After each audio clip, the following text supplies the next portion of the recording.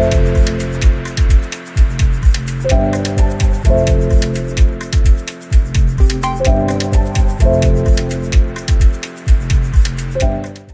morning, everyone, and I'm happy to be here today. And on all days, we happen to be on a day that only happens once every four years. So, are we here or is it an illusion? I'm sure many of you are wondering and are very, very curious. Fungi? Is she crazy? What's going on here? So, what I would like to do today is to talk about unlocking the bakery potential in, with the synergy of fermentation, fungi, and fermented fungi. Thanks for the nice introduction. My name is Deb Anderson, and I am a team member at the Protein Brewery. So let's dig a little bit deeper into this fermentation, fungi, and fermented fungi. We all know there's climate change happening. We've been here in Chicago this week, and we've seen a major shift in the temperatures, and we've seen a phenomenon that has not been documented in weather since the beginning, and that is many, many different types of tornadoes. Climate change is happening, it is real. We need to take care of this today.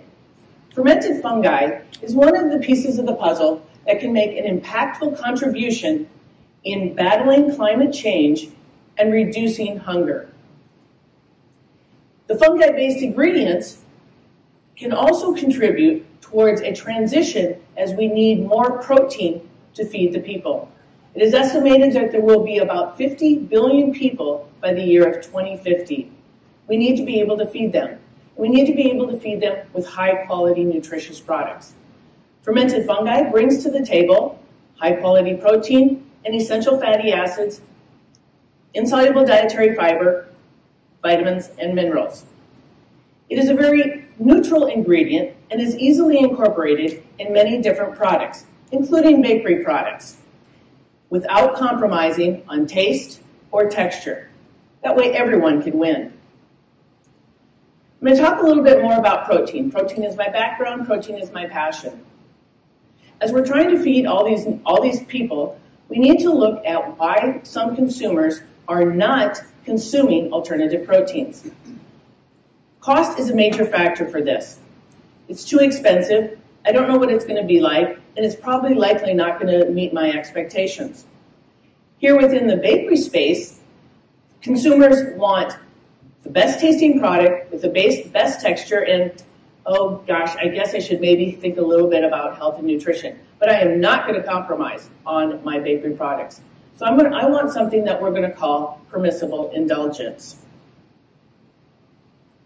So what are some of these challenges with these other products that are out there? Well, if we're looking against um, meat type or animal-based proteins, we're thinking probably of our eggs and of our milk that's going into our, our products they have some challenges. They're typically hard to scale, they're expensive, and they have a high carbon footprint. So our next alternative is going to be plants. But plants, we only have a limited amount of land left available to grow additional plants. They also come with some challenges, such as flavor and digestibility, and land use with uh, more water. The fungi-based proteins come into play, and they're extremely scalable in a, I know a facility that is less than a half a city block that can produce over a thousand metric tons of product. That is a very small carbon footprint for a very large output of a very nutritious product.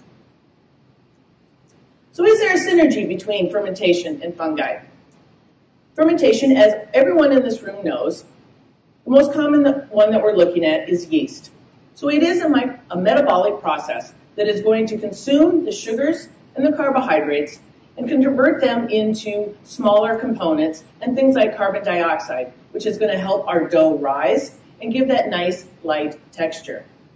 It is also known as a food preservative. If you said in the talk yesterday with Richard, it was we preserve, we've got wine, we've got beer, cheeses, and breads. It's a food preservation system.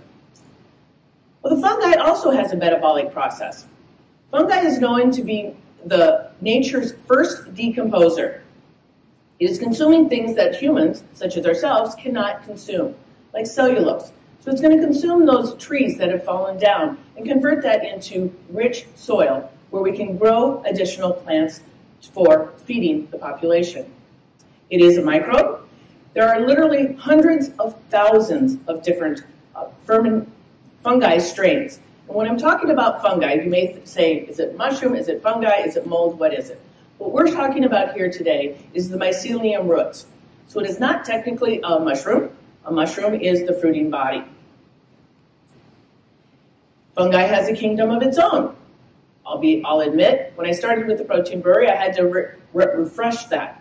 We have the animal kingdom, the plant kingdom, and the fungi kingdom. So let's dig a little bit deeper. There are different types of fermentation. We have aerobic and anaerobic. Aerobic fermentation means we have the presence of oxygen.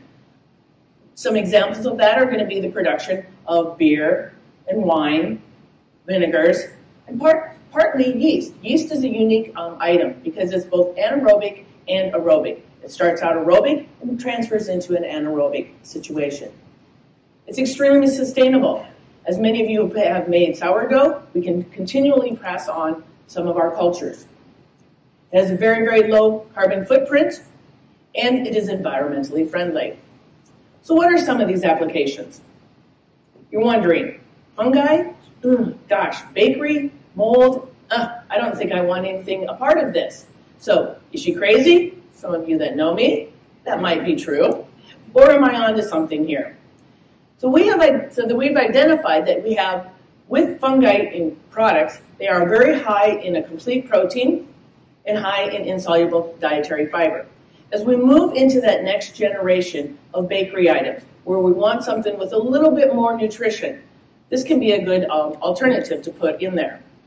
We have found that these fermented fungi ingredients are inert. So what does that mean, and what is that going to do for me in my bakery? Well, in most typical proteins, they are going to bind, gel, emulsify, or foam in your product. You may not want some of those characteristics. So then you're going to be combating. You want more protein or fiber, but you have to combat with some of the characteristics that come with it. The fermentation-derived products are inert. Essentially, they're bringing to the table nutrition without playing with the textures of the products. Now, I do take a disclaimer here. As I mentioned, there are hundreds and thousands of different mycelium or fungi-based products. So we have many, many different strains. So please check with your supplier um, as to which particular type you have. It can be gluten-free. Now I realize no, uh, not everyone in this room is concerned about gluten-free, or maybe you don't even want to worry about it within your factory. Not that gluten intolerance is growing per se, but many families today, if we have one member of our family that is gluten intolerant, we buy it for the entire family. And that's why we're starting to see an even bigger trend, upward trend, of gluten-free products being sold, made, and sold. Fermented fungi can be very clean in flavor, very bland and neutral. They love water. Particularly, because of the insoluble dietary fiber, they're going to grab onto that moisture and hold on to it very tightly. Can absorb upwards of four times their weight in water. We go to bake it off, so we're going to add about 5 to 10% more moisture to your formula. Some of it's going to bake off. You got to remember, this guy's a this little fun guy or fun gal is going to grab onto that moisture and hang on to it for dear life. That moisture is bound. So now we've got more water in our product, but it's bound, and it's going to give the perceived freshness for a longer period of time and a softer product as well. So what are some of the role, excuse me, the role of fermentation in baking? So these microorganisms, like we talked about uh, earlier, are going to convert the carbohydrates, the sugars and the starches, into the carbon dioxide to get that nice rise within the dough. What I do at home as a baker is not a baker, so please bear with me. What I do and what you do from a professional standpoint, you would cringe. So I did a little bit more research on the baking in, on the aroma of breads. And I found a couple different articles stating that there are between 300 and 520 volatile components in the process, in the aroma process of making bread. That's really cool. And a lot of them are coming through the fermentation process. Fermented sourdough is also easier for us to digest, and it comes to brings to the party essential vitamins and minerals where some of these other white breads do not. They're more refined. And fermentation, as we heard yesterday, is also known as one of the greatest inventions of this century. So, what are some of the most common microorganisms that we know about in the baking industry that, that do fermentation processes? Well, obviously, one of them is yeast. That's typically a Saccharomyces uh, species. Now, as we all know, as you pick a different yeast for a different application, you get different textures and aromas. So here we come back again that this is a very complex system. There's also some lactic acid bacteria that join in on the party and bring some of those volatile, volatile aroma components, where we get some of that nice um, lactic acid taste, that sourdough taste coming to the party. And now we have a new entrance. We have fermented fungi that is joining the party here in the baked goods. When we bake, we all know, and as I said, you're the experts here, that we have specific temperatures, time, and relative humidity for each and every different product that we make. So we need to pick the correct tool in the toolbox to do the job that we're looking for. Fermented fungi tends to be a very robust type product.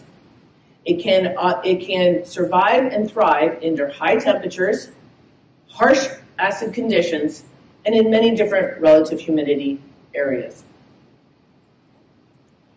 Do the consumers even care about fermentation? Eh, they may know the word, but what they're concerned about is don't mess with my, my bakery products. I want it to taste good. I want it to have a good texture. But gosh, I really like that artisanal type of product. I just came back from the Netherlands last week, and I miss already some of the options of bread and things that I can get over there that I don't typically get in my Jewel Osco close by. So what the fermentation is doing is it's bringing that nice artisanal premium quality. It brings back memories. We, we heard about telling stories the other day in the keynote and about memories and things that we want to remember. Who, why do we want to be remembered? Brings back the, the thought and the smell of sitting at grandma's house while she's making bread. So let's harness the power of this fungi. As I mentioned, there are three kingdoms. We have the animal, the plant, and the fungi. Fungi tends to be closer in nutritional composition to the animal proteins. So in this particular slide, we're showing beef, but we can also look at eggs and milk. What I'm showing you here is the green bar is the high quality products, the protein, the fiber, the unsaturated fatty acids. The yellow bar is the sugars, the carbohydrates, and the, and the saturated fatty acids. So as we can see, broadly speaking again, the fungi has a very good nutritional profile. Let's talk a little bit about amino acids and essential amino acids. In this particular industry, we're not as it's not as common to be looking at protein and protein quality. That is the innovation. That is the future, and that's where we're going to be able to bring more nutrition to our consumers. What we're looking at is an essential amino acid is the amino acids that you cannot you cannot make in your body, but you need to consume. A complete protein means it contains all those essential amino acids in a specific ratio. The FAO, HWO, and FDA have come together with a methodology called Protein Digestible Corrected Amino Acid Score. That means we can compare proteins across the board in a level playing field. What does this mean to you and why do you care? Let's say you're going to add, you want to make a protein bread. That's what your salesperson came back, said, hey, we got to get one of these. We got to get it out there on, on the marketplace. So you're looking at different things. You're like, oh, let's just grab this protein. I've heard something about it. Um, it happens to be a pea protein. I'm going to put 10 grams in there. I want a high protein claim. High protein claim is 10 grams per serving. A good source of protein is 5 grams per serving. I put 10 grams in. When we do our nutritional facts panel, we can only claim 8 grams because the PDCAAS score is 0.8. The fermented fungi, on the other hand, has a calculated PDCAAS score of 1. We put 10 grams in, we can claim 10 grams on our nutritional facts panel. And this just also goes to show some of the other uh, products that are out there with their PDCAAS score.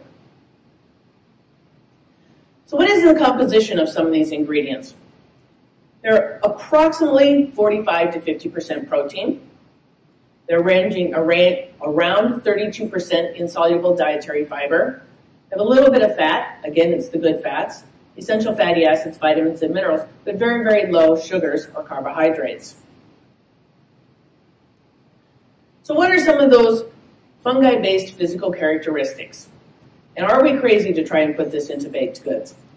What we found is that being a complete inert protein, and I've had to talk with a number of you over the course of these past few days, is that my salespeople team, my marketing team have come and they said we needed to do start exploring some of these higher nutrition products, keto, gluten-free, or just something with a little bit more nutrition.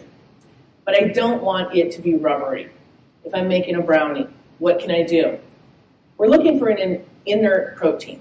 There are not many proteins out there that I'm aware of that are inert in nature. Inert in the product, not in the body, because they are fully digestible in the body. We have a very high insoluble dietary fiber content. What a beautiful marriage with bakery products. It has a very bland flavor. It has high water binding capacity to help extend that shelf life, that, per, that perception of soft, fresh, less staling over time. It comes in a powder format. It's easy to use, it's easy to store, we have a long shelf life. And it's easily incorporated. Because it is a powder, we have no special handling um, tips. All we need to do is to incorporate it with our other dry ingredients. Let's go back and talk about fungi again. Fungi and fungals are very sustainable. We can, on one hectare of land, we can produce four times more protein, high quality protein, than we can with soybean. Remember, we've only got about 10% um, land available left on our planet that is that we can use. It's a very versatile ingredient. It likes to consume all kinds of stuff every for its uh, food source, its sugar source. So it could be a glucose syrup, it could be potatoes, it could be cassava, it could be sugar beets. It's very versatile. It's also something that we can look at, can we upcycle? At dinner last night, we were talking about food waste. And one of the percentages we heard is that over 40% of our food is wasted. That's a lot. It would be nice if we could recycle that and bring that back.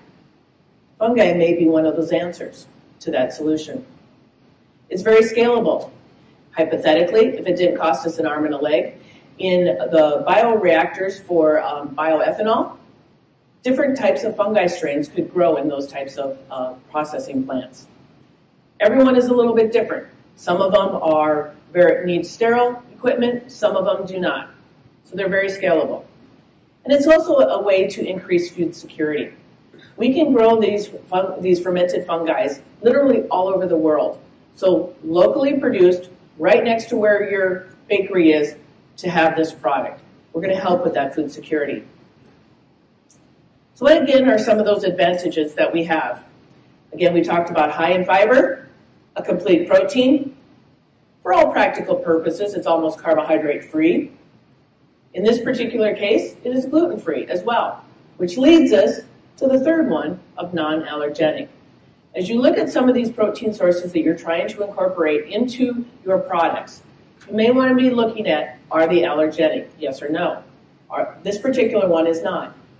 It is also non-GMO, wild strain, easily used. And loosely call it plant-based because they don't really give us an, um, a category for fungi-based at this time. I have two uh, case studies to share with you. One is a high protein mark, high protein bagel that is the first to market with a fungi-based, fermentation-based ingredient. What did they want it for? They wanted it because there's a lack of protein and fibers in some of this, these ingredients. But they also wanted to keep a soft, chewy texture. In this particular case, beta-glucan can be also used as a claim for supports the immune system. Another case study to look at is a gluten-free bread. Again, I know not everybody wants to go into the gluten-free space, but it is also, let's admit, it is very difficult. It's not easy to do, or otherwise we would all do it, right? What happens? I am not a, I do not need to consume um, uh, gluten-free products, but I have been trying them so I can educate myself on what some of the challenges that are out there. And in my limited research, they're very dry, dense, crumbly, and not much flavor. By utilizing a fermented fungi, we can increase that moisture content. Remember, it loves water, and that water is bound. And it gives us that perception of a soft, fresh bread over time. But the biggest thing for the commercial bakers out here is we don't see a change in proofing time or baking time. I was once told that commercial bakers don't like change. We're trying to help out with that. Dr. Lin, would you like to say a few words? Sure. Yes. That's great. Thank you. Okay. I do um, consulting work for clients, and one of the questions that come up, you know, very frequently is how can I increase the protein content of my product without using soy, dairy, legumes, gluten? right? So when this particular product came onto my radar, I was like, wow, this is just the tip of the iceberg, what they have to offer here. And on top of that, you know, um, the sustainability story, the sustainable story. Okay, um, I just want to share with you, as Richard said yesterday, fermentation is the solution to a lot of our future food problems. So this is one of the products that's available to you right now that you can utilize to help you sell that high protein sustainable story. Okay, so I use this particular product about 5% in a bread formula, no, conventional bread, not gluten free. And yes, it took more water because of fiber, right? So as you can see, the fermented fungi is the lower red line and the control sample is the blue line on top. I'm like, okay, fiber, that's great. Maybe it's sucked up more water. Maybe made it softer. And then how can it be so soft? Like a week later, it was really still so soft. Can anybody guess why?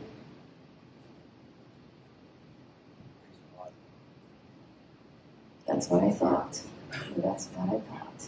So I went back to the team and I asked the team, is there any amylase in this thing? what is it, Deb?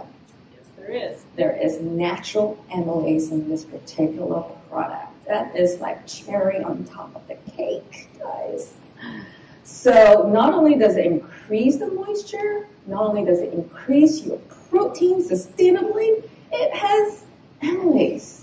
Increases the shelf life of your product by making it softer, less crumbling, and springier. So that's what I want to um, talk about today is the functionality of this particular product um, with this kind of application lab. So yeah, great. Thank you. Thanks for letting me um, test this product. Thanks, Lin. So in summary, we're very excited that Lin jo um, joined the, the party with us and took a look at the ingredient because she's she is a baker. I'm not. What I do at baking isn't quite qualified. So the product is very neutral in flavor. We add more water. Water is cheap or less costly in our formulations. We can keep a very low water activity in our products, but yet have that perception of soft, fresh product for a longer period of time. We've also noticed that there's an improved machinability. It's not as sticky easier to shape, easier to work with. There is no impact on our yeast fermentation. Now, as with every tool in the toolbox, we have to know what the limitations are. We can share those with you. It's working extremely well in the gluten-free space, in the gluten-free area. Talked a little bit about this, but this was a quote that Lin gave to us um, before we even started talking about this, this um, presentation. And again, that goes to feeding the world by 2050. We have a lot of people to feed. We can help with the baking, with our baked goods, making it just a little bit more nutritious without compromising on that flavor or that texture. So with this, will you join us in innovation for the future?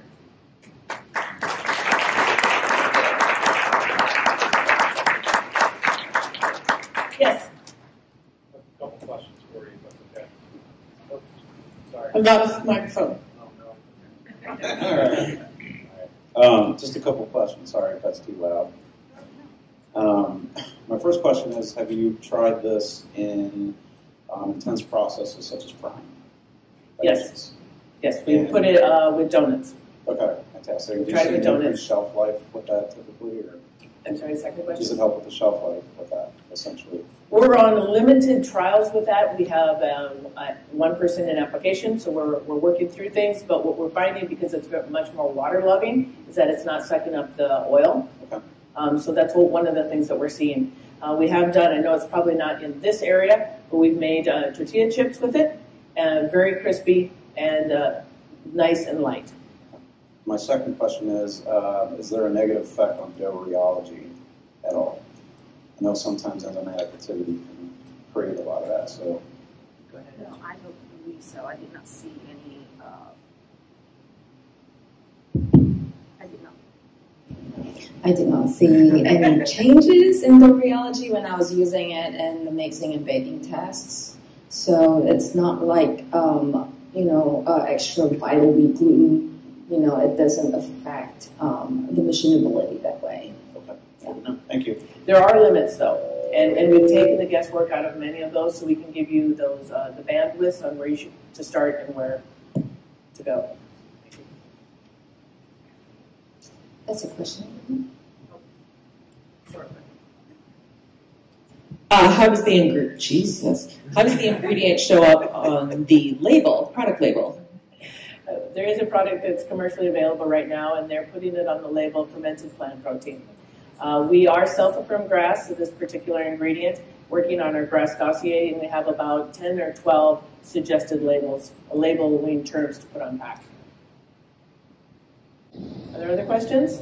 We will be around uh, later today, and happy to answer any any questions. Sweet. Well, thank you, Deb and Lin.